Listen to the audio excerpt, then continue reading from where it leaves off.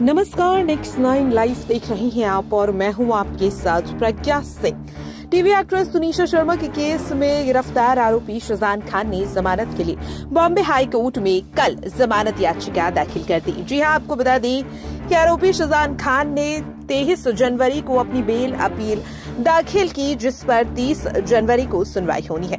आपको बता दें कि इससे पहले शजान खान ने एफआईआर रद्द करने के लिए भी याचिका दाखिल की थी, जिस पर अगले सोमवार को सुनवाई होनी है जो यहाँ साफ़ तौर पर कहा जा सकता है कि इस केस में अब शजान खान पर काफ़ी ज़्यादा मुश्किलें बढ़ती हुई दिखाई दे रही हैं। आपको बता दें कि शजान खान की जमानत याचिका को मुंबई के वसई कोर्ट से 13 जनवरी को रद्द कर दिया गया था और अब 30 जनवरी को हाई कोर्ट में शजान खान की जमानत याचिका पर सुनवाई होनी है।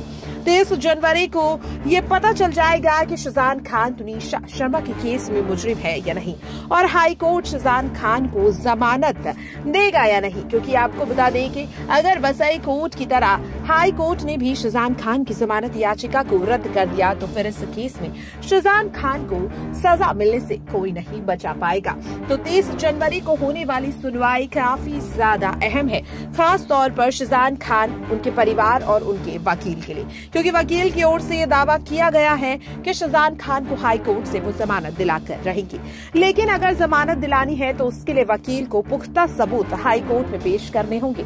और अगर ऐसा नहीं किया तो मजबूरन हाई कोर्ट का भी वही फैसला देखने को मिलेगा जो मुंबई के वसई कोर्ट की तरफ़ से 13 जनवरी को सामने आया था।